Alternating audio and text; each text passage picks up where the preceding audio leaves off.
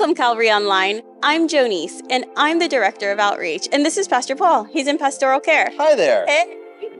Yeah, so please say hi in the chat. Tell us where you're watching from, what your favorite food is, what your dog's name is, or anything else fun that you would want to share with us.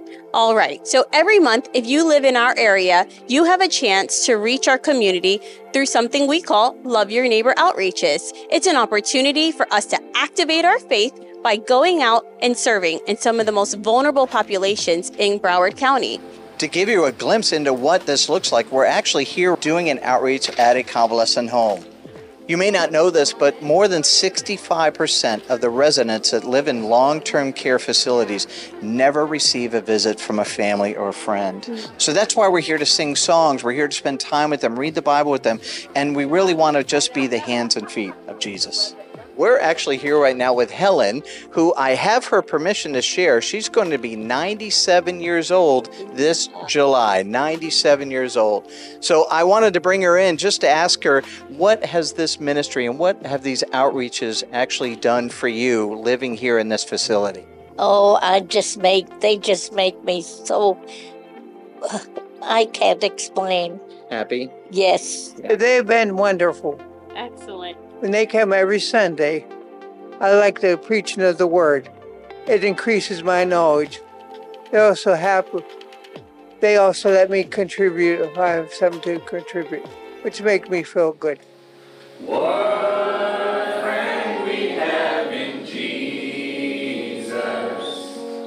And Paula, I know that there are some really great stories that come out of some of these Love Your Neighbor events. Do you have one or two you'd like to Got share? about 385 of them. one, please. Just Just, one? one. That's Just- all we have time for. Okay. okay. Well, actually, we did a Love Your Neighbor event in our staff, and our staff went out and visited one of our local care facilities, nursing homes, and we had uh, uh, three or four of the staff that knew how to play the piano and could sing. So we had a little concert right in the middle of this facility. They had a baby grand piano waiting for us. We started singing some That's songs. It was absolutely great. But as we were singing the songs, we saw the residents and we saw the staff just openly weeping. And one of the staff came up to me afterwards and said, Paul, you have no idea how much we needed this today. So that's just one of a thousand stories that we could share. That's so beautiful. And that's really what Love Your Neighbor is all about. You get to pour into people, and the blessing is that we come out encouraged. Amen. All right, so in just a minute, we're going to jump into today's service. But first, let's look back and review last week's message. You may remember it was about Jesus wanting to do a new thing in our life. So, for a refresher, let's take a look at that takeaway from last week and then talk about how it connects to today's message. If you try to use a wineskin twice, well, after you use it once, it's lost its flexibility. Now it's rigid. And so if you pour new wine and it's gonna burst the wineskin, it's gonna ruin the skin and the wine, and everyone knows no one in their right mind would do that. And then Jesus says essentially this the, the kingdom of God that's coming, the old systems of self righteous religion cannot contain what God is now doing in the world through me. This is a new covenant. It's grace, it's mercy, it's God showing up in the world to take on the sin of the world, to pay the debt of the world, and to give everyone away back to God. And this is really, really, really good news, right? I love that message because we all get a fresh chance when God does a new thing in and through us. Amen. Now let's turn our hearts towards worship as we join the Fort Lauderdale team. Yes. Put your hands together. Let's worship Jesus together. Well, sing it if you know. To the King of glory and light, all praises to the Lord of life, our Maker. Gates are open wide. We worship you.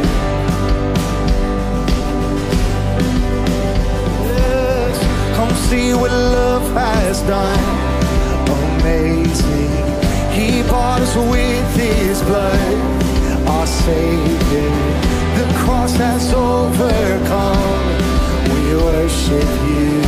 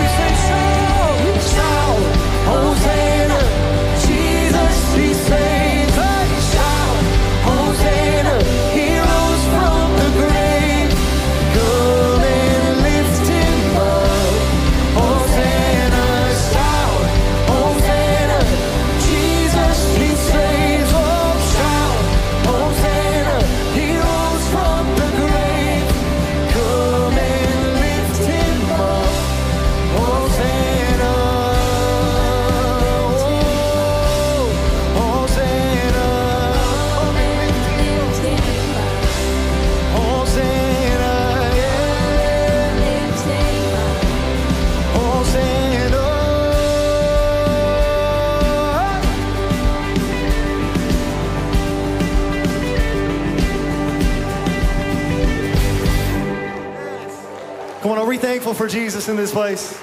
Yes. Hey, listen, this weekend is special because tomorrow is Palm Sunday. And the reason we remember this Sunday is because this is the week before Jesus is, resur- Jesus is resurrected. It's his triumphal entry into Jerusalem. And here's the thing about Palm Sunday it's interesting because the same people that shouted, Hosanna in the highest, blessed is he who comes in the name of the Lord, were also the same people that said, Crucify him a week later. But the reason the church remembers this day today is because we know exactly how that story ends. Amen. It ends with a resurrected Jesus. It ends with a Jesus that is seated at the right hand of the Father. It ends with a Jesus that has conquered sin, death, hell, and the grave. That's worth celebrating, amen. Can we give praise to Jesus? Because in a week's time, the church is going to gather and we're going to sing and we're going to celebrate because of what Jesus has done. It is the finished work of Jesus that makes us alive today. And the same spirit that raised him from the dead lives in us today. Amen. Can anybody testify to the resurrection power of Jesus? He's good. And so let's continue in worship, making much of him in this place, remembering that he came to live, to die, but not stay in the grave. He rose and he reigns now and forever. Let's sing together.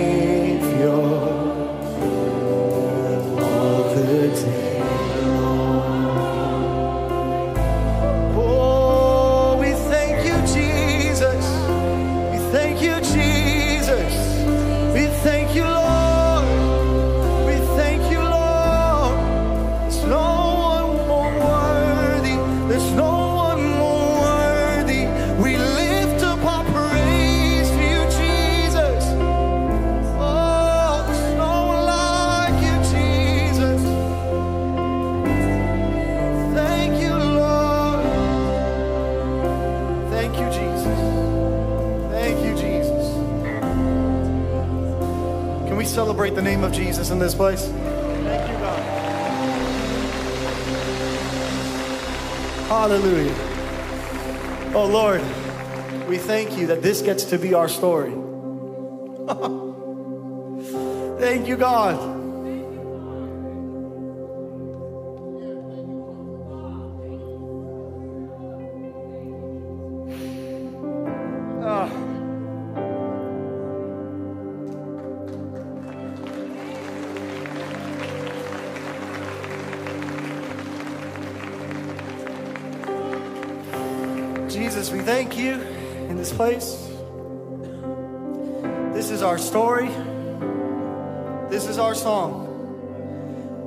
What you have done. Not because of anything we did.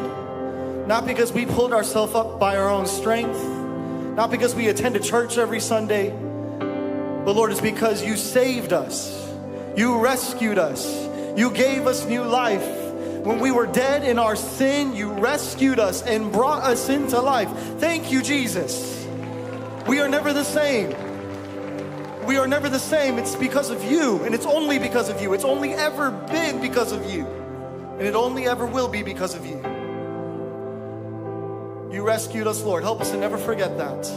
Help us to never forget the message of the gospel that transformed our life forever. That you lived the life that we should have lived, but definitely could not.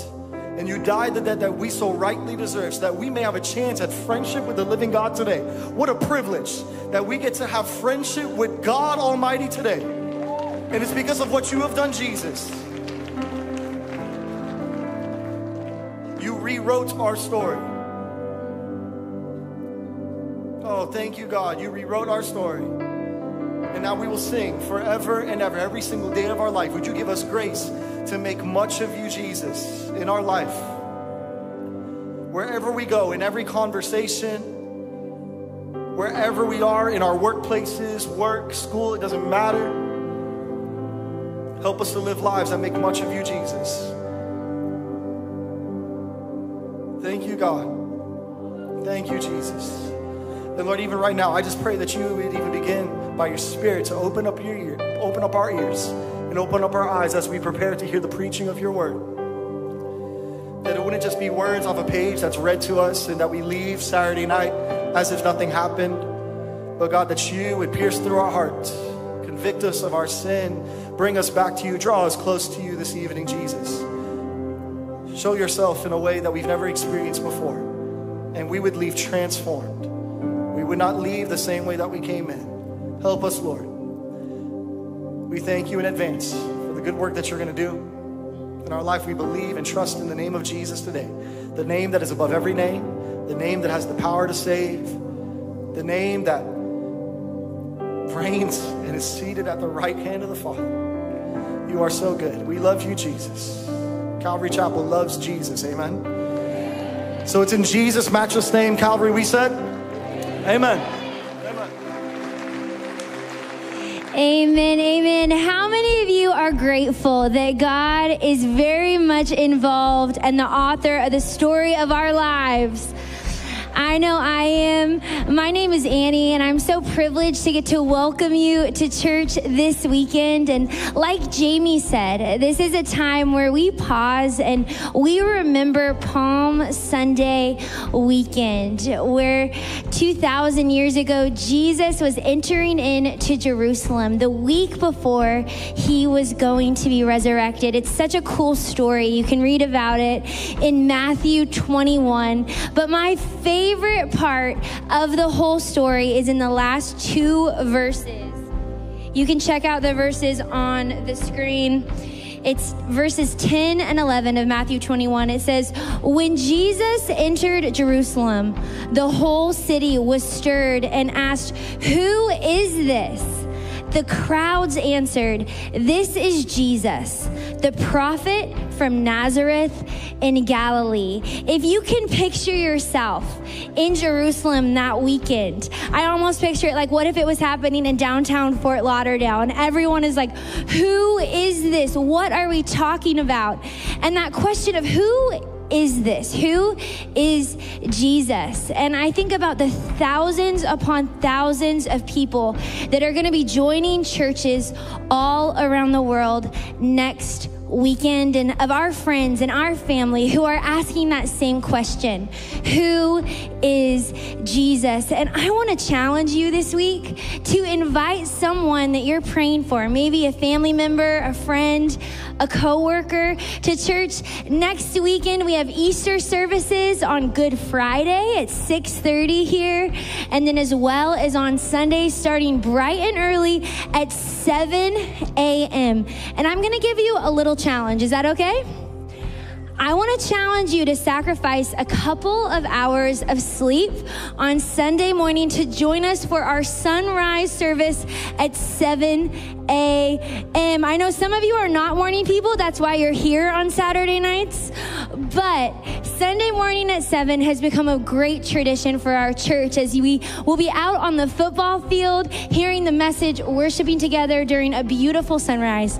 And when you join us at 7 a.m. on Sunday, you create space for one more person to hear the gospel for our next services that day. So I hope to see you there. We're talking about how Jesus gives us everything to live for. And one of the best parts of following Jesus is the freedom that we get to experience. And how many of you in here have been through freedom groups before? That's right. I see some hand. Freedom is incredible. If you don't know what it is, it's an eight week group experience that's designed to allow us to experience more of the freedom that a relationship with Jesus brings. So go ahead and check out the screens for more information.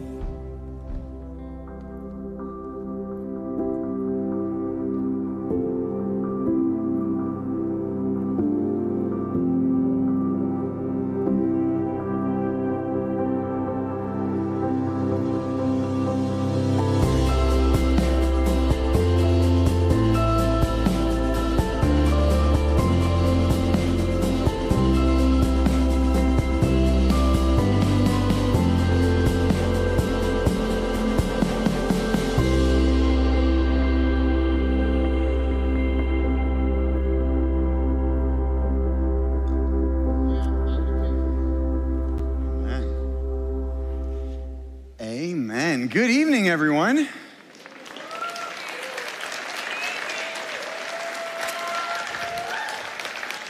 You guys good?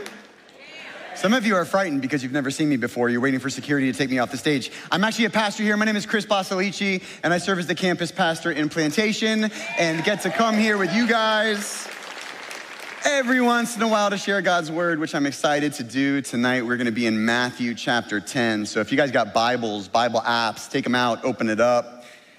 Matthew chapter 10. If you didn't bring a Bible with you tonight, you want to follow along with a hard copy, no worries. Raise your hands. We got some people coming down the rows right now. They will put a Bible in it. And as you are finding your way there, of course, want to welcome everyone watching online right now at our online campus. Um, I just kind of want to reiterate something that Annie said. You know, next weekend, next weekend is what? Right, we're going to try that one more time. Guys, next weekend is what? Easter. We should be excited about that. And I know that you guys are Saturday night people, um, but, but please do not forget that if you show up here next Saturday, who's going to be here? No one but you. Like, go for it, hang out outside, do a prayer walk. I great. But no one's gonna be here. We would really love for you to, though, pray about attending the 7 a.m. service. And by pray about, I, I mean just do it. Because we, we really wanna make room at the 9 and the 11 o'clock for people to come and hear the gospel. So, I, you know, I, I know you may not be a morning person, but for that one day sacrifice, it's gonna be a great experience as we're all out there together celebrating the resurrection of our King. Amen? Amen. Uh, and listen, lots of information about stuff happening here in all of our campuses. And so, at any time you want to take your phone out, you can open up your camera. You can scan the QR code right there that's on that screen or on the back of the seats for more information about all of that. But let's get into God's word tonight. Let's pray before we do so because we couldn't even understand it without Him. So, let's ask for His help. Father, we love you. We love you because you loved us first. Tonight we celebrate Jesus. We celebrate your Son and our Savior. And we come before you tonight not in fear, but boldly as sons and daughters because of what he has done for us. Jesus, thank you. Thank you for the life that you lived and the death that you died on the cross. Thank you that today you are risen and seated at the right hand of the Father. Thank you that we have a hope in you that goes beyond anything this world could offer. Thank you that we have a place to come tonight and to get into your word, but more than that, we pray that your word would get into us. Holy Spirit, fill this place, give us understanding, and may your word convict, exhort, even rebuke us where we need to be rebuked. We're willing to, to allow you to do that in our lives tonight. Have your way, God. And when we leave here, we want to be more like our Savior. We want to be more in love with our Savior. So please, please, we are here drawing near, and you promised that when we would do that, you would draw near to us. And we believe that you're a God of your word. So please have your way, we ask in Jesus' name. Amen.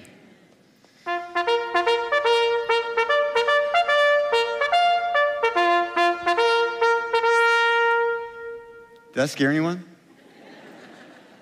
That wasn't a mistake. You're like, oh, someone in the AV booth is messed up. No, that, that wasn't a mistake. Does anybody know what that was? It's the assembly bugle call.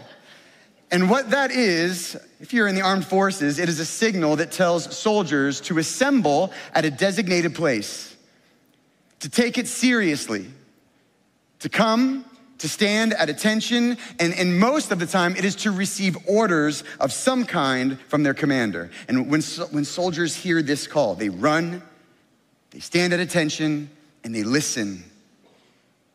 And I want us to kind of approach Matthew chapter 10 like that tonight, because tonight in Matthew chapter 10, we see Jesus call and assemble 12 of his disciples before him so that he can give them very specific orders about a very specific mission. That's what we see tonight in Matthew chapter 10. Look with me there. Jesus called his 12 disciples to him and he gave them authority to drive out impure spirits, to heal every disease and sickness. Now, these are the names of the 12 apostles. First, Simon, who's called Peter, his brother Andrew, James, son of Zebedee, and his brother John, Philip and Bartholomew, Thomas and Matthew, the tax collector, James, son of Alphaeus, and Thaddeus, Simon the zealot, and Judas Iscariot the one who betrayed him. Stop right there. If you got a paper Bible, you can maybe circle the word called there because in the original language, the, that word called, it means to summon and assemble soldiers together. So again, this wasn't just your normal, hey guys, let's have a quick conversation. What Jesus is about to tell them is something very serious. And if you were with us last week at the end of Matthew chapter 9, Jesus is, is a king and he's on a mission and he's, he's looking over all of these people that are like sheep scattered without a shepherd. And he's got this compassionate heart and he looks at his disciples. He says, Do you see all those people? There's so many of them. There's so many of them that need to know me. And, and, and the, the harvest is ripe, but there's a problem. What was the problem? The laborers are what? Few. And so what does he tell them to do? Pray Pray to the Lord of the harvest that he would raise up workers. And I'm sure at that point the disciples probably thought, man, that was profound, Jesus. That was deep. They maybe even prayed that prayer. They had no idea that they themselves would be the answer to that prayer. And that is what Jesus is doing right here. He calls and separates 12 of his disciples and, in a sense, promotes them and makes them apostles. He gives them authority and power. And here's what he's about to do they've seen him. They've seen him do miracles, they've heard him preach, they've seen him on mission. And now he's sending them out to take part of that very mission themselves, the mission of the kingdom. And, and here's what we need to kind of think about tonight is that their mission is our mission today. Do you believe that? Oh, you don't convince me with that. Do you believe that? Yes. And so, so again, I, I just want you to receive the words of God tonight as if Jesus was here speaking to you. That this is our mission. And, and all throughout the rest of Matthew chapter 10, Jesus is going to give us some very specific orders for the mission. Look with me at verse 5. These 12 Jesus sent out with the following instructions Do not go among the Gentiles or enter any town of the Samaritans. Go rather to the lost sheep of Israel. And as you go, proclaim this message. The kingdom of heaven has come near. Heal the sick, raise the dead, cleanse those who have leprosy, drive out demons. Freely you have received, now freely give. Do not get any gold or silver or copper to take with you in your belts, no bag for the journey or extra shirt or sandals or a staff, for the worker is worth his keep. Whatever town or village you enter, search there for some worthy person, stay at their house until you leave. As you enter the home, give it your greeting. If the home is deserving, let your peace rest on it. If it's not, let your peace return to you. If anyone will not welcome you or listen to your words, then leave that home or town and shake the dust off your feet. Truly, I tell you, it will be more bearable for Sodom and Gomorrah on the day of judgment than for that town. Let's stop right there. When it comes to these orders, these marching orders, if you will, the first point tonight is this that the mission requires movement. The mission that Jesus is giving them and still gives to us. It requires movement. And just to be clear, the first part of these orders are given to the apostles, specifically in this specific instance. Context is key. It's not specifically to be applied to us today when Jesus says, Don't go to the Gentiles, go to who? Israel.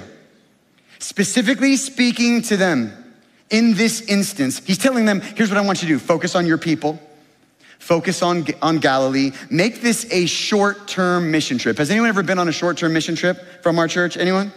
He's like, I don't want you to be go out for months and I don't see you for a long time. Let's just keep it local.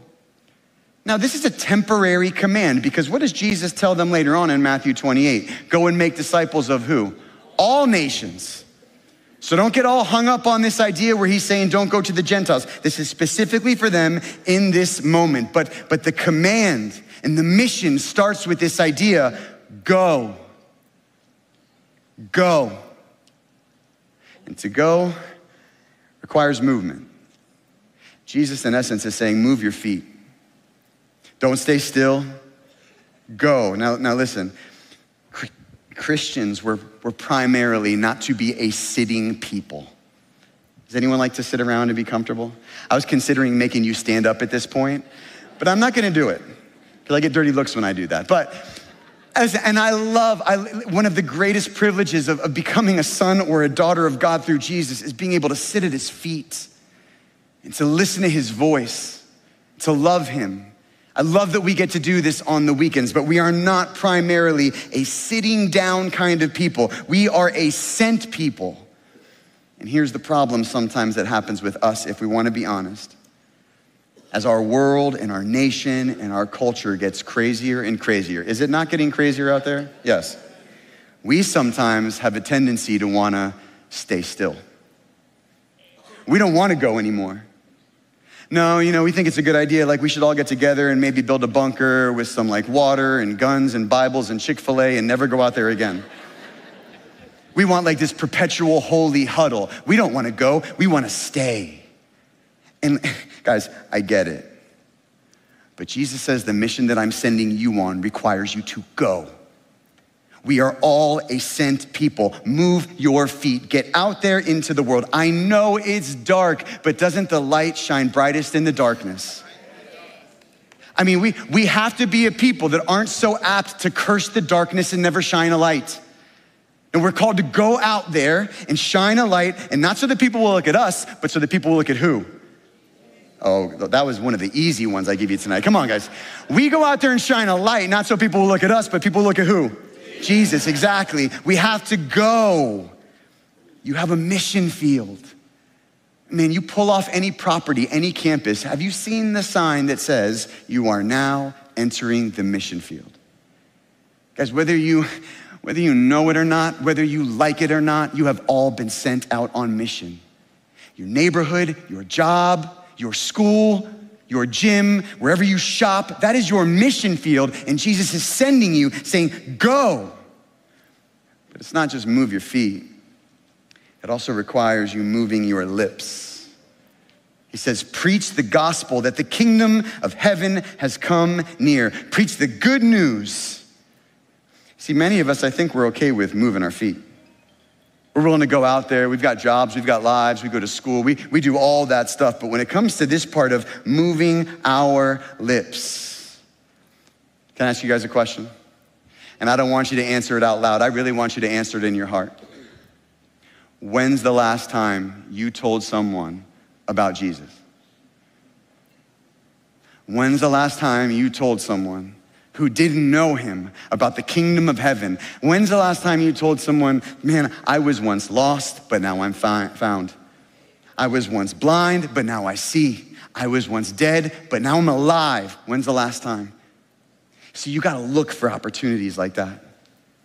I was at a place last week and I met this guy who looked kind of like me, but I know he wasn't a believer. And I, and I, I like, I love when people ask the question, so what do you do? And I'm like, well, I'm a, I'm a pastor. He's like, what?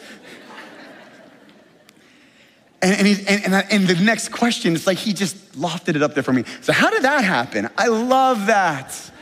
I love that. Listen, because in my job, I'm surrounded by Christians all day long. Christians are crazy. I love it. But I don't get to be around people that don't know him like that. And so when, when, when opportunities present themselves, I'm like, yes, here it is. Do you look for opportunities like that? Do you pray for opportunities like that? Do you wake up every morning and say, Father, today, today put someone in my path that's gonna ask me that question? I promise you this. Is that the will of the Father for you? Is that the mission we're sent on? I'm telling you right now, brothers and sisters, if you pray in the morning, God, give me an opportunity today, do you think He's gonna answer that prayer? Yes. We must be a people on the move, moving our feet and moving our lips and moving our hands. Now, the, the power that He gave to those apostles is not necessarily the power that He gives to us. And I don't have time to dive into that, but I think the essence of what Jesus is saying is go and serve people. Go, go to those in need, those that are sick, those that are dying, those that are depressed, the outcast, the marginalized, the lost, and minister to them. Don't just tell people about Jesus, show them Jesus. This is the mission that we are on. And I love what he, he says freely you've received, freely give. Anything good in your life, who gave it to you? God. James, right? Father of lights, everything good that we have. And I mean, your salvation, forgiveness, redemption, adoption, hope, peace, all of those things come from who? Did you pay for it? Who paid for it? He says, you, Jesus paid for it. You've been given it freely. Now spend your life giving it away. Do not be selfish with your salvation, is what he's saying. This is our mission.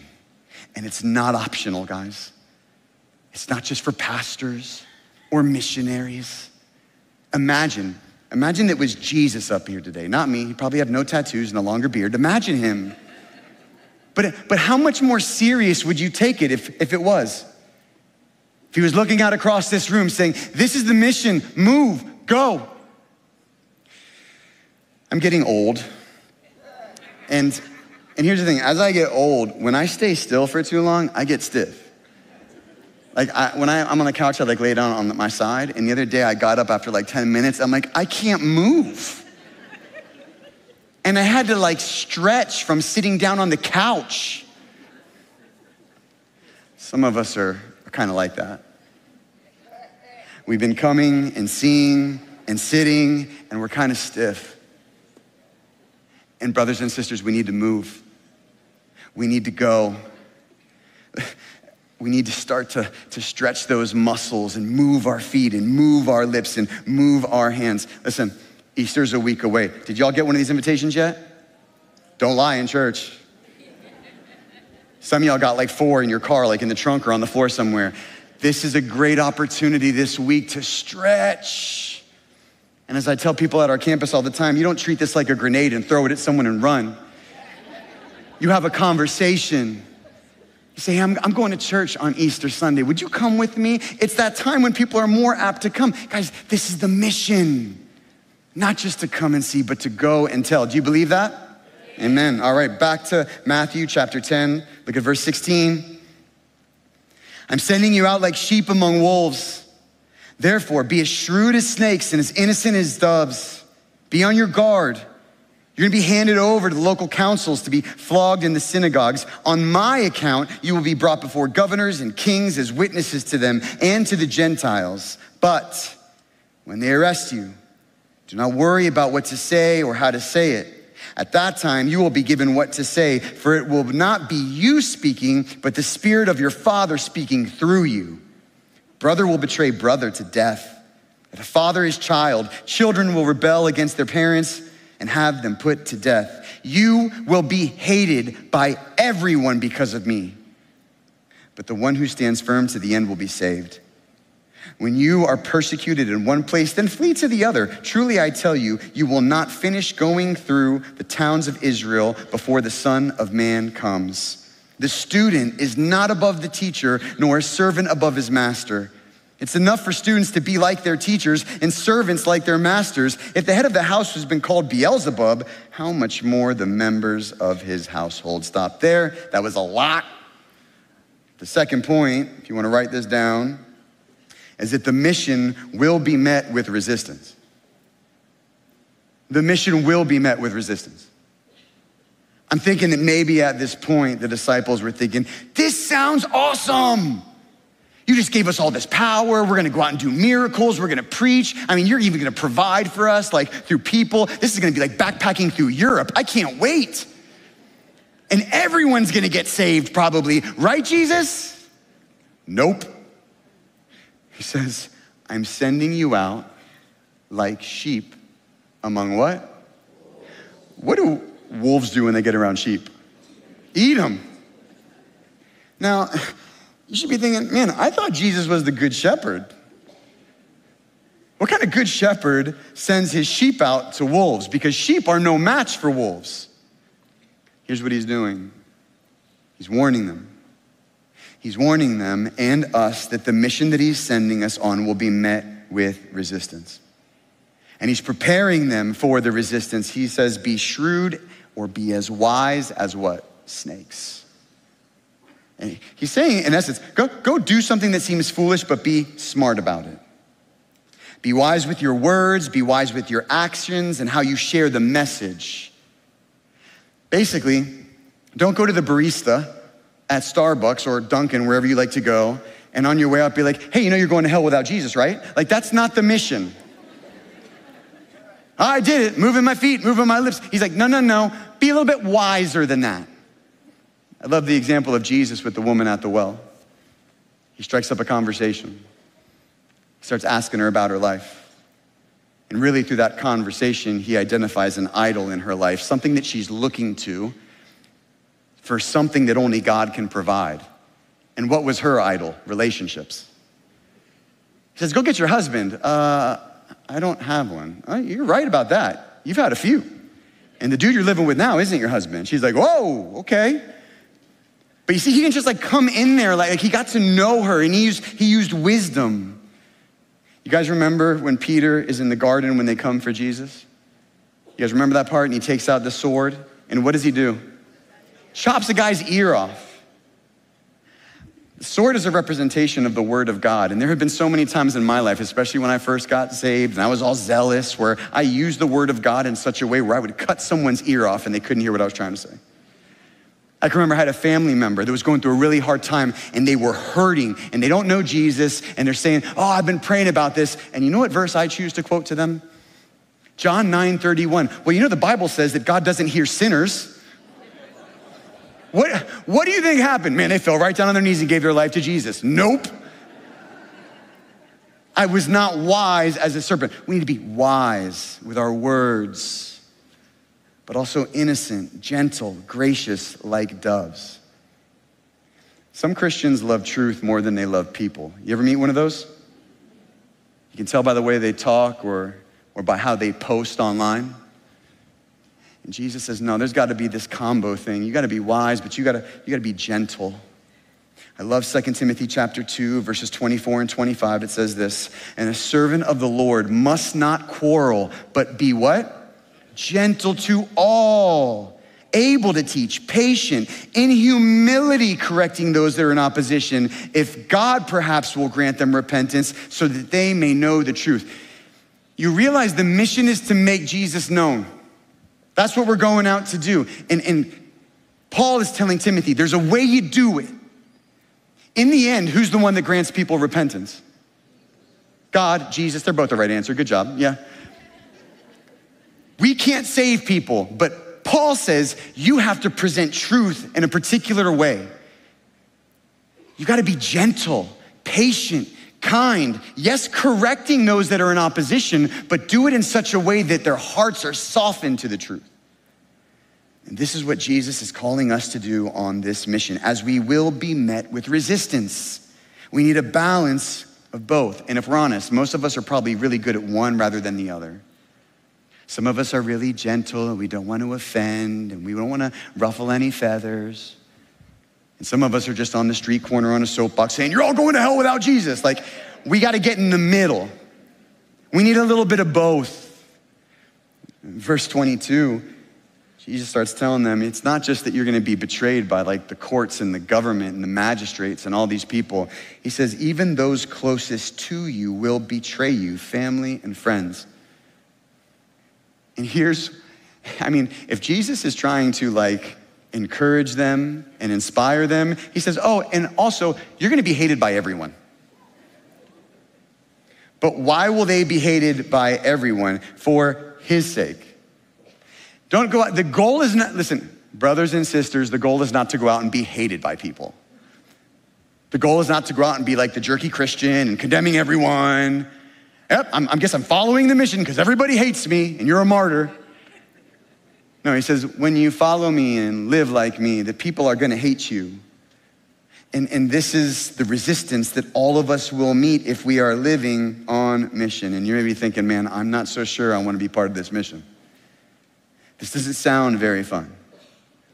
And many of us are not on mission because we fear this resistance, this questioning about our faith. If we tell someone about Jesus, what will I say? I won't have, I won't have the answers. I won't know what to do. We definitely don't want to be hated by everyone. But there is a blessing that comes with this resistance, and you may have missed it in verse 24 and 25. Jesus is, is saying, hey, if they did it to me first, if they persecuted me, if they resisted me, if they called me the devil and you guys are my followers, don't you think they're gonna do it to you too? And here's the blessing. The more closely our lives follow the mission of Jesus, the more resistance we will be met with, but we, we will also be met with Jesus. When we suffer and walk in his shoes, there is a closeness with Jesus that comes from that. Everybody wants Easter Sunday, nobody wants Good Friday. It's just the reality of it. Can't I just meet him at the empty tomb? No, no, there's, there's a cross too. And there, there is a blessing and an intimacy that comes with that. And you and I, if we're honest, we are prone to flee from suffering. And yet it's the very place that God wants to meet us. Has God ever met you in your suffering? Yeah?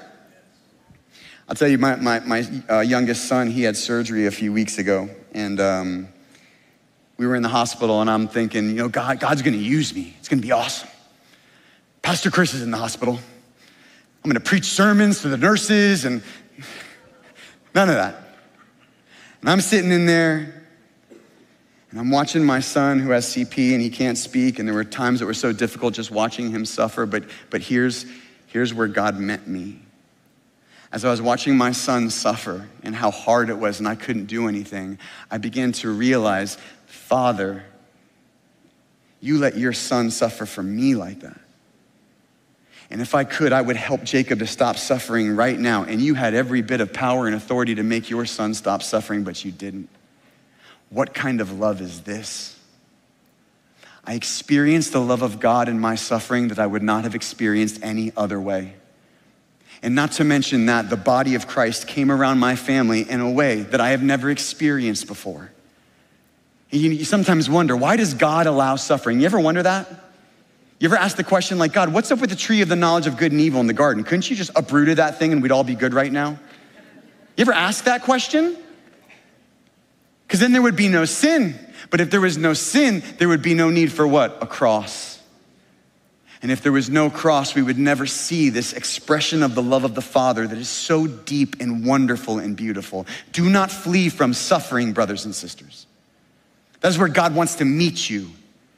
Don't let the possibility of resistance keep you sitting in your seat and not living on mission. I love what Paul says in Philippians chapter 3. He says, I want to know Christ, yes, to know the power of his resurrection and the participation in his what? Sufferings, becoming like him in his death, and so somehow attaining to the resurrection from the dead. Listen, at that time, now I don't know, and I can't point to like chapter and verse to back this up. I don't know that anyone knew Jesus in a deeper way than Paul at that time. And as he sits in prison, he's like, God's not done with me, and I'm not done with God. I want to know Jesus more. And you would think, as that man sits there in suffering in prison, he'd be like, Man, I want to know the power of the resurrection. I want to be free.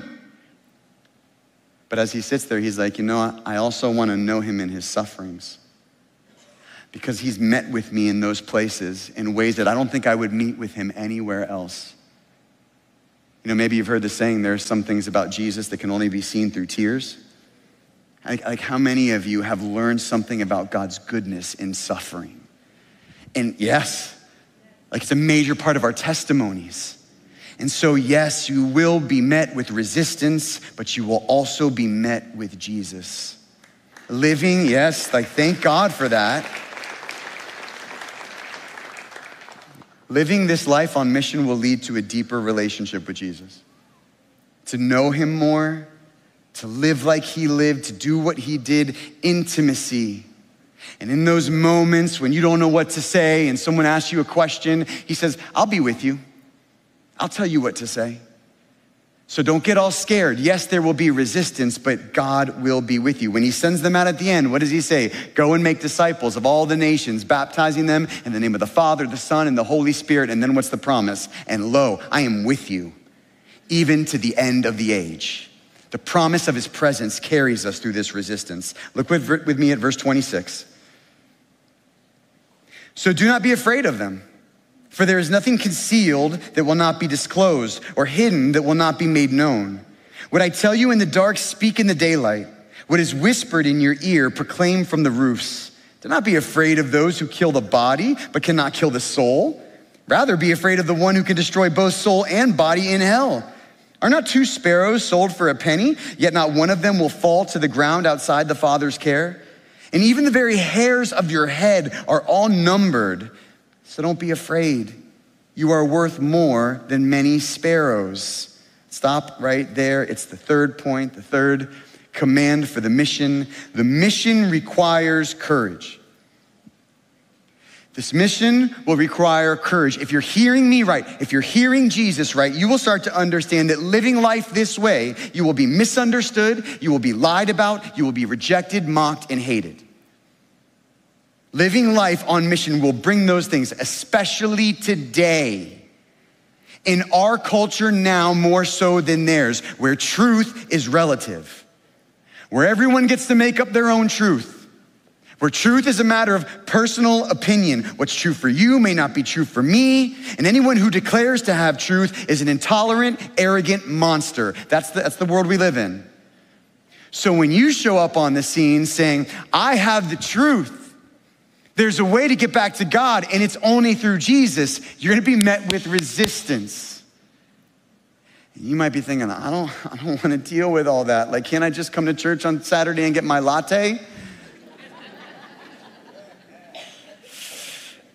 You may be afraid.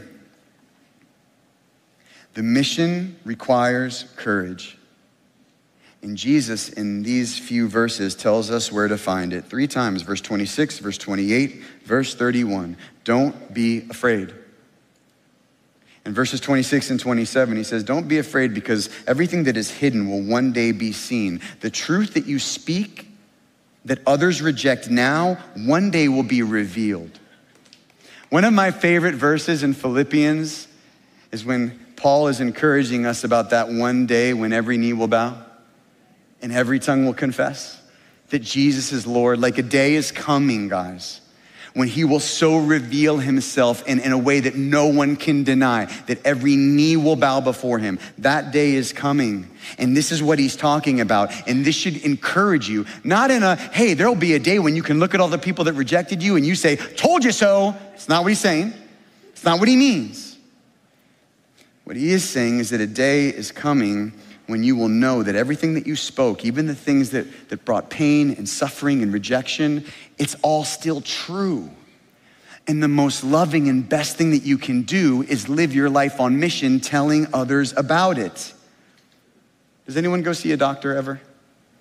Uh, anyone? Only five of you. Go see a doctor, get your checkup. And listen, I'm with you. Like, I think uh, pr- probably from 35 to 45, I did not go to a doctor at all. And now I'm old, as I said before. And here's, here's what I like about my doctor my doctor is not afraid to tell me the truth. When I do my blood work, my, my doctor is not scared that she might offend me by the results. She tells me, and she tells me boldly because, because she knows that if I don't change my diet and get healthy, one day I will feel the consequences for myself, even though I can't see it now. And that is the kind of boldness that you and I have. That certainly we will tell the truth, and some people will say, I don't believe you. But listen, a day is coming when everything that you preach and say, according to the mission, will be made real. So do it. Fear not. Jesus is coming back. And until he does, until he does, you and I are on mission to tell others about him. He says, Fear not. Therefore, go, open your mouth. Tell everyone about this Jesus. Tell everyone about the gospel and the kingdom to come. And then in verse 28, it says, Don't be afraid of men. And again, this is like not the most encouraging thing if you first read it. Don't be afraid of men who can kill you. Thanks, Jesus. He's like, listen, the worst thing that can happen is they're, they're gonna kill you, okay? But if you really know Jesus, you know that death has lost its sting. It still hurts. Like, I, I know, I understand. It's still hard to lose someone, but death has lost its sting. Death, for us, ushers us into the presence of Jesus. Man, before I knew Christ, I can remember laying in my bed at night just wondering what would happen when I die. I was scared. Like I have vivid memories of that. But when I came to know Jesus, I'm like, I'm ready. Like, how many of you guys are ready? I'm ready to go see Jesus. Like, I'm ready. And that's, that's why he's saying, he's like, listen, don't fear them. Rather fear, fear God. And not in like a cowering, fearful kind of way. Psalm 111, verse 10 says that the fear of the Lord is the beginning of wisdom. When you get to a place in your life when you care more about what God thinks than what man thinks, there will be no place for fear in your life. You will live your life on mission boldly. You won't care. And so he, what is he saying? Stop looking at them and look at me. This is always the remedy to fear, is it not? Remember David and Goliath? You guys remember that? And all the Israelites shaking in their boots. What were they looking at? This giant. And little boy David shows up. He's like, Who the heck is this guy? Who is he to speak against our God? David was looking at God. And this is what Jesus is saying fix your gaze on God, and fear will disappear. And then he says this Don't you know that you're more valuable than sparrows? that not even a sparrow dies apart from God's will, and you are more valuable than the birds of the air. And in the same way that nothing happens to them apart from the Father's will, nothing happens in your life. good or bad, apart from the Father's will. Do you believe that? Man, we gotta believe that. We got to believe that more than just here on a Saturday night where it's real easy to yes and amen things. Like this truth carries us as Christians. Nothing happens to us apart from the Father's will. He knows you. He knows when you suffer. He knows every hair on your head or the lack thereof for some of us. You know what I'm saying? But wh- why, why is this a reason not to fear? Because He knows you, He loves you, and He is for you. And when you suffer, He sees. And at just the right time, He comes through. How many times, how many of you guys like have had God come through for you just at the right time? Yeah. And I'm always like, I, I would have rather had you come like 10 days earlier, God. But He has never let me down. He is faithful and he loves us. It's not just that we have the God of the universe sitting on a throne who's for us, we have a Father in heaven who loves us and is for us. And so he says, Don't be afraid. Your Father will take care of you. This mission requires courage. I get it. And you know who's gonna give it to you? Him. Keep your eyes on Jesus. Let's close here in verse 32. Whoever acknowledge, acknowledges me before others, I will also acknowledge before my Father in heaven. But whoever disowns me before others, I will disown before my Father in heaven. Do not suppose that I have come to bring peace to the earth. I did not come to bring peace, but a sword. For I have come to turn a man against his father, a daughter against her mother, a daughter in law against her mother in law, and a man's enemies will be the members of his own household. Anyone who loves their father or mother more than me is not worthy of me. Anyone who loves their son or daughter more than me is not worthy of me. Whoever does not take up their cross and follow me is not worthy of me. Whoever finds their life will lose it, and whoever loses their life for my sake will find it. Anyone who welcomes you welcomes me. And anyone who welcomes me welcomes the one who sent me. Whoever welcomes a prophet as a prophet will receive a prophet's reward. Whoever welcomes a righteous person as a righteous person will receive a righteous person's reward. And if anyone gives even a cup of cold water to one of these little ones who is my disciple, truly I tell you, that person will certainly not lose their reward. Last point, fourth point. The mission will cost you, but the reward is great. The mission will cost you, but the reward is great. Jesus, Jesus, isn't one of the names for Jesus Prince of Peace? So, what did he just say there in verse 34? Do not suppose that I came to bring peace. Initially, Jesus comes to bring peace between us and who? God. You see, because of our sin, we've got a problem with God. The Bible says there's enmity. We are enemies of God because we live lives of rebellion against Him. Jesus comes to bring peace, but He says, don't get it twisted. I didn't come to bring peace necessarily between men. I actually came to bring a sword. That if you follow me and you live on mission and you do it publicly, you saw what he said there about acknowledging him publicly? When you, listen, your faith, your faith is not a private matter. When I was growing up and I was little, I remember the saying, I haven't really heard it anymore, but the two things you don't talk about is what? Religion and politics.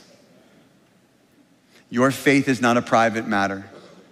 It is not meant to be hidden. It is not meant to be relegated to Saturday nights. And Jesus says, when you live it out, there will be division that will come. When you tell others that you are on mission for me, it will cause problems in your relationships. This mission will cost you. How many of you guys, when you first came to know Jesus, you lost friends? I did. I can remember I got saved here like 20 something years ago, and all my friends were like, Oh, you just joined a cult, bro. And they're brainwashing you. And I remember them always saying, Don't worry, you'll be back. And I lost so many friends. Some of you, you, you were in a relationship with someone, a boyfriend, a girlfriend, and one of you came to know Jesus and the other one didn't. And, and you knew, like, I don't think we can continue because I love Jesus more than I love anything else. You realize that in some countries, for someone to acknowledge that they're in a relationship with Jesus and living for him, they will be disowned by their families and some even put to death. How blessed are we in this country? Okay? Like, let me just say that. This mission will cost you relationships. If you hide it, it may not. If you're not living on mission and nobody really knows about your relationship with Jesus, it may not. It will cost you, though. It truly will cost you relationships. It will also cost you your life. You must be willing to lose your life for the sake of this mission. Jesus says to take up your what? Now you got to know, this is before the first Easter. You see, when we think of the cross, we always think of it in relation not just to Good Friday, but to Easter Sunday because we know the end of the story, right? The empty tomb. For Jesus to say, pick up your cross, they must have been like, what? A cross? I definitely don't want to be part of this mission. An instrument of torture in death. Yeah, I want you to pick it up and not just pick it up. What do you do once you pick it up? Carry it, follow him. It's not just coming to a place and picking up the cross and dropping it and going back to your life. He says, Pick up your cross and follow me for all to see. You're like, man, this is a depressing message. Guys, this is the mission. This is the mission that we have been called to. But, but there is a reward. Yes, it will be hard. Yes, there will be loss. But what you gain from following Jesus is far greater than anything you will ever lose. Do you know that? And, and, here, and here's the thing that I think, I, I believe that it's possible for some people who are actually followers of Jesus to miss. Some of us aren't willing to pay the price. Some of us aren't willing to pick up our cross. And in not being willing to pick up our cross and pay the cost, we never find the true purpose for our life. Because we have our own plans and we have our own ideas of what we're supposed to do with our life.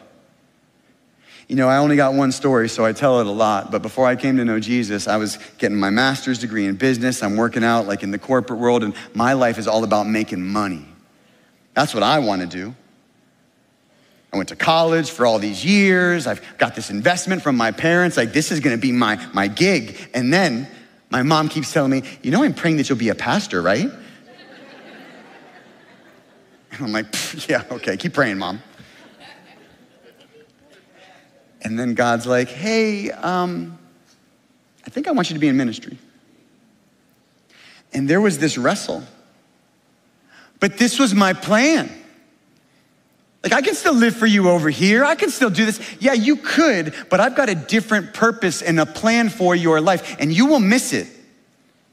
You'll still get to heaven, of course, because that's by grace, but you will miss the purpose for your life. So many people in this world, they chase all these things because they want to find their purpose and do what they were made to do.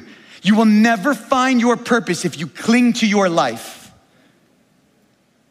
This mission will cost you, but the reward, I mean, when you get to heaven and you see your Father, and He says, Well done. Well done. You were faithful with the mission. You were willing to lay down your life, just like my son did for you. Let me, let me just be so clear about this, and I wanted to say this in the beginning, I forgot. This is not a message that says, Be a good soldier so that God will love you more. That is not this message. This message is God loves you unconditionally. Now go be a good soldier. That's the gospel. And listen, he, he won't twist your arm, he won't force you. He's so good like that. If I were God, I'd force you.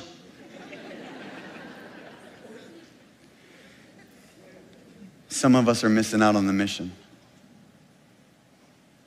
We don't want to pay the cost. We don't want to go. We like coming. Like coming here and worshiping hearing a Bible study, like we like that, but we're not willing to go and move our feet and move our lips.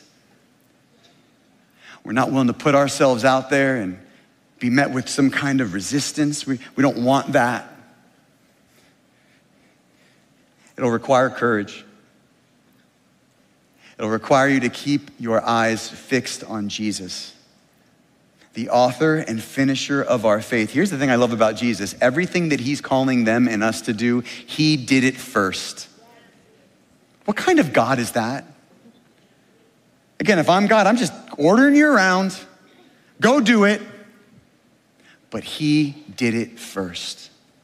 How good is our God? So good. Listen. In the same way, today, Jesus is calling his disciples to attention. The mission remains the same. Guys, it's serious. It's not just another study through the book of Matthew. Like, this is serious. It's not optional. I'm not, and again, I'm not saying you lose your salvation. I'm saying you'll miss out. And so here's how I want to kind of close this part. I want to give you an opportunity to respond. I'd ask all of you to close your eyes, those of you that are still awake. Close your eyes. And this is not a, a moment of shame. I want you to just think and consider and take inventory of your life right now. Have you been living on mission like this? Have you been actively going out into the world and into your life, moving your feet, moving your lips, telling people about the one who saved you and changed you? You'll be able to tell if you have been because you will. He promises it. If you're doing that, you will be met with resistance. So if you can't remember the last time you met, met with resistance, you may not be on the mission. And so maybe some of you are on it. Great. I love it. Praise God. Keep doing it. But maybe for some of us, we're like, you know what? I've been more of a, a come and see kind of Christian than I am a go and tell. And here's what I love about God He will give grace to the humble. If you're simply willing to say, God, I need your help. And so if you say, you know what, I, I haven't been doing that, but I want to, we can do nothing apart from Him. And so if that's you, I just want to ask you to stand in your seat where you're at as a, as a response to this. I'm going to pray over those of you who say, I want to live on this mission. I don't want to waste time. I don't want to waste my life. God has called me to be a light in this world, and I'm really not doing it. And listen, don't, you, I know you hear seats and stuff like that. This is only if you hear the voice of your Father, please.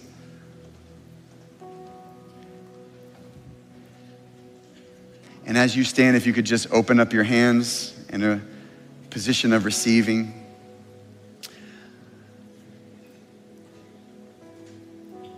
Father, we want to thank you first for sending your son for us. We thank you for the mission of our King who, who moved out of heaven, who came to this earth and who willingly gave himself over to suffer, to be betrayed, to be persecuted, also that we might come to know you. And now we want to do the same. We want to follow in the footsteps of our Savior. And I know that what you see here in this room tonight, I know it pleases you, Father. And so please, in the name of Jesus, Holy Spirit, fall and stir in everyone's heart right now a burden, a desire, a passion, a courage to live this life on mission to make Jesus known. God, I pray right now that you would even lay the one person on our hearts that you want us to talk to this week. The person you want us to invite to Easter, whatever that might look like. God, give us the courage to do what seems foolish. Help us to be wise as serpents, gentle as doves. Help us to keep our eyes fixed on you and help us to be willing to lay down not just our plans, our lives for the sake of the gospel. We want to make you known. We, we can't wait for you to come back, Jesus, but we want to be busy about your business until you do. Send us, use us for your glory, we pray. In Jesus' name, amen. Amen. Amen. You guys want to have a seat real quick? Amen. Hey, let me just say this for those of you that stood. Don't leave here and let the enemy steal that. Don't leave here and be like, oh, I stood up, I said this prayer. If, if you did, God wants to use you this week. And pray every morning. God, give me an opportunity. I promise you he'll answer that prayer. But before we close, before we close, I want to give those of you that are in this room that, that don't necessarily know Jesus in a personal way to enter into that relationship. The gospel is not good advice. Read that this week. It's just stuck with me. It's not good advice. It's good what? It's good news. And good news is only good news when you understand that there is bad news. I'm not here to pull punches, to try to convince you of something. I just want to present to you the truth in love that all of us are born into this world separated from the God who made us and loves us. And it's what the Bible calls sin. It's us rebelling against God. It's what Adam and Eve did in the garden when they said, God, we know you said to do this, but we're gonna do it our way. We all do that. And the Bible says that that is the very thing that separates us from God, so we can't be in a relationship with Him. And that's the bad news. We have no way to fix it. We can't make it right. We can't turn our lives around and be better people and start doing enough good deeds and reading our Bible and coming to church. Those things won't save you. The only thing that will save you, the only one that will save you is Jesus. And that's why he came. That's why he left heaven. He moved his feet, if you will. And he lived this life so perfectly, exactly as the Bible calls us to live it.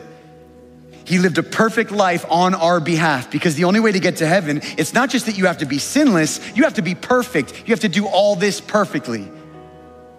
God said, I know you can't do that. I'm gonna send my son to do it for you. And then he's gonna die on a cross to pay for every mistake you have ever made and every mistake you will ever make. And he says, I'm willing to give you this gift of forgiveness, of peace, of hope, most importantly, of relationship with God. We have the hope of heaven, but the best thing about salvation is that we are brought back to God, the one who made us. But you see, there's got to be a moment in your life where you are willing to acknowledge that you need Him. You heard me say, yeah, I got saved in this church like 20 years ago, and I can remember sitting in this church week after week and saying, I don't need that. That's for all these crazy Christians with their hands up crying. And I remember the day God opened my eyes, and I realized, oh, I do need God. I'm not perfect and I'm not going to live forever. And one day I'm going to stand before God and I will be guilty. And when I, when that, like, that weight of my sin hit me, it's like, it's like I saw Jesus for the first time. And listen, I was raised in church. I knew all about Jesus up here, but I never knew him here. But when I saw him and I realized, oh, I need him. I surrendered my life to him that day and I've never been the same. And it's not because I'm a good person, it's because he's a good God. And, and if you're here tonight and, and you're thinking, oh, I come to church, listen, coming to church will not change your life. It's good, but it won't change your life. Jesus changes your life. A relationship with Jesus changes everything. And He will not force Himself on you. He will not force you to follow him. He brings you to places like this. He's probably put some crazy Christians in your life that keep loving you and praying on for you. And maybe he will even use difficult situations to get you to a place where you're ready to come to him. But then he says, All right, now it's your turn to choose. So they're gonna play a song right now, and when they play this song, it's gonna be your time to acknowledge Jesus publicly. You're like, I did not come here tonight for this. Let me just tell you this He brought you here tonight for this. And so when the song starts, if you're willing to get up out of your seat and come stand right here, when the song ends, I'm gonna lead you in a prayer. I'll give you the words to say, but it will be your heart. No one can say this prayer for you. Not a praying mom or grandma or spouse or brother or sister. This is about you and God. Doesn't matter if you were raised in the church, there's gotta come a moment in your life where you say, I need Jesus. And when you do, He accepts you with open arms and He changes your life. Church, in moments like this, I know that we keep our eyes open and we clap if anyone comes forward. I'm, but I'm asking you to be in some serious prayer tonight, okay? Like this is a spiritual battle probably happening in someone's heart, and they're like, man, won't this guy just be quiet? I want to get out of here. That's because God is calling you, and there's an enemy who wants to do everything he can to keep you from Jesus. Church, please be in prayer that God would open eyes and draw people to himself. If that's you and you want to get right with God tonight and you want forgiveness and peace and hope and salvation, it is yours for the taking. If that's you, when the song starts, get out of your seat, come forward. We'll pray that prayer together. Church, pray. Guys, play. And if that's you, come.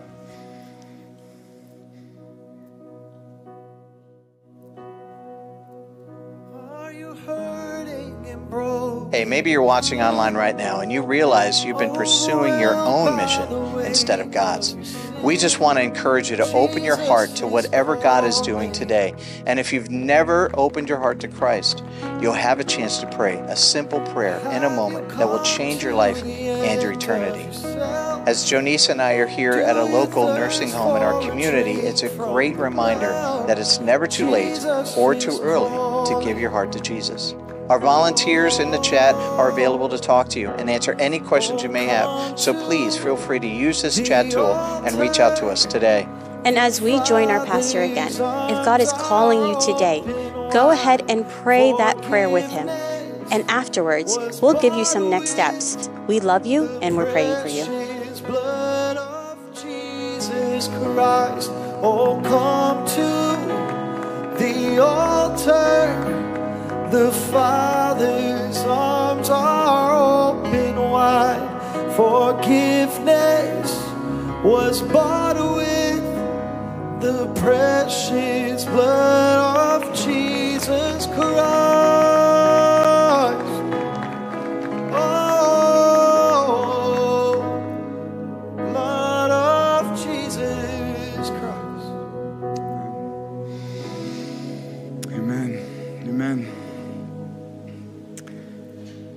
guys, before we pray with everyone that's up here, I, I just want to make sure that if you're sitting in your seat, you're struggling, you're battling, and you think you should be up here right now, we won't sing another song, but I will wait another moment. I, I sat there and I, I came up with all the excuses of the world why I shouldn't give my life to Jesus. And it's my greatest regret as a Christian that I didn't make this decision sooner, what they're about to do. And so if you're still in your seat, you need to come up here. I'll wait a moment longer. This is your time. God loves you just as you are. He will change you. But He's not asking you to clean up your act first. He just wants you to come to Him. And so maybe everyone that's supposed to be up here is up here, but if you're supposed to be, I'll wait just a moment longer. If that's you, you can come now. We'll wait for you to come down and we'll pray that prayer together. But if not, it's okay. We'll pray for these people that are here right now. Hmm. All right. So, guys, here's what we're going to do. First, we're going to pray for you. And after we pray for you, I'm going to give you some words to pray out loud. And I don't want you just to repeat after me. I want you to think about the words that you're saying. I want you to think about who you're saying it to. You're saying it to the God who loves you so much that he gave his son for you. And so, if you would, close your eyes. Church, if you would extend a hand, let's pray for everyone that's here. Father, thank you for your amazing love.